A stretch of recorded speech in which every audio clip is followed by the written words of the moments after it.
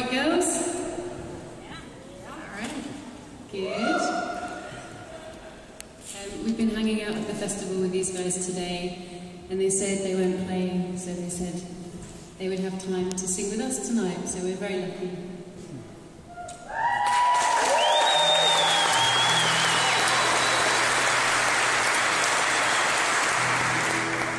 So we just worked this out in a in a bar in a field today. So um, goes.